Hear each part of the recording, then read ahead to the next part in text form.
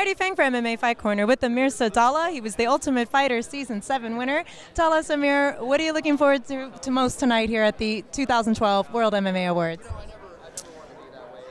I just thought of something inappropriate, but I think you should know I didn't say it. Uh, this uh, this show is always really fun. Uh, it's really well put together, and uh, you know it's always uh, it's always cool to see our sport kind of get its own awards. And uh, yeah, it's always, I always uh, always enjoy myself. So I'm looking forward to uh, you know everyone all dressed up and on in work attire, and uh, you know just kind of having fun formally.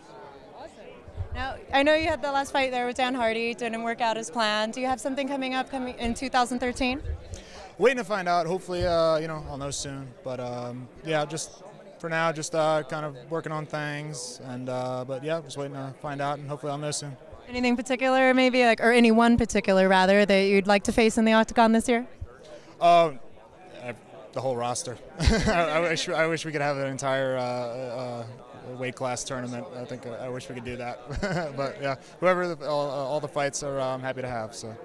You were on The Ultimate Fighter, and this year they're coming out on a new day. It kind of looks like it has a new, edgier type of feel to it, the way the artwork and some of the promotions I've seen look. What are your thoughts on this upcoming season and maybe what they're doing to refresh The Ultimate Fighter? They've really struggled since season seven to kind of retouch on how good that season was. You know, really, you know, like, can you make a, can you make like a uh, Forrest Gump two? You shouldn't, but you could try. They're trying.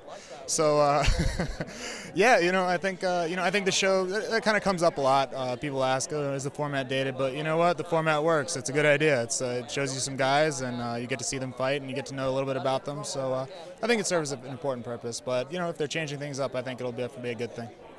Now, where are you training these days? Are you still based out here in Las Vegas, I think? Yeah, yeah. I live here, and uh, I trained at Extreme Couture, and uh, yeah. Well, that team, uh, you working with Jay Hieron at all for his upcoming fight with Tyron Woodley?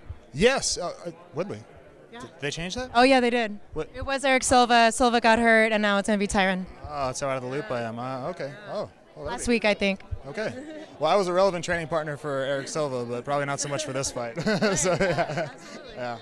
But uh, yeah, it's uh, yeah. I always train with Jay and uh, Mike Piles there, and just all just so many talented guys in and out of Extreme Couture. So it's uh, it's uh, I always I enjoy being there. And I saw Martin Kampmann. He's up for International Fighter of the Year. How awesome do you think that is? Is he? Yeah. Sounds like a category they made up for Martin Kampmann. I mean, I think so. They're like Denmark. Yeah, we got to get some awards. yeah, that's all. It's all set up. Well, Amir, we wish you all the best in 2013 and enjoy yourself tonight. Thank you.